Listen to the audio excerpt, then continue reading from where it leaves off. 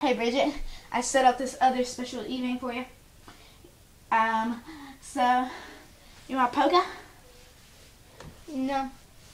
Oh please, Bridget, come on. I love you with all my heart.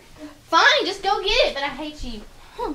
Well, while that loser's getting his poker pants, let's just sit here. Oh my gosh, you see that cute boy?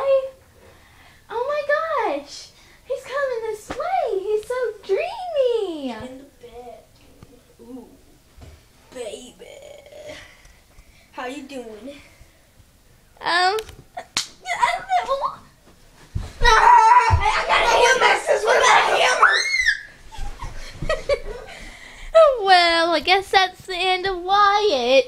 Yay for me, because he, he was. I'm alive. I'm alive. I still got Oh, this hammer. great. Uh, I don't care. I just, I just care about saving my girl. He needs to pay me way more to hang out with him. I mean, seriously. He is a total nerd. I say nerd. Hey, baby. Hey. I guess I'll go put up my hammer since Wyatt's gone. Okay.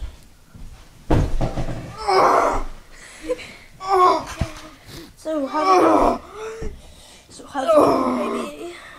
I just got beat up with a hammer. Oh, I'm not. I just got beat up with a hammer. It was not. It was not the kid, experience. Wyatt.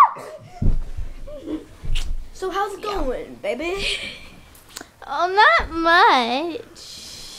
No one mess with my girl.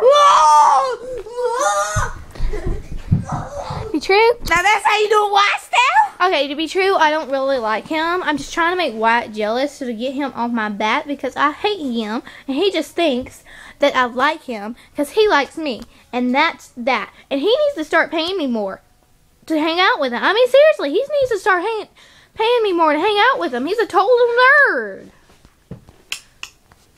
Bye.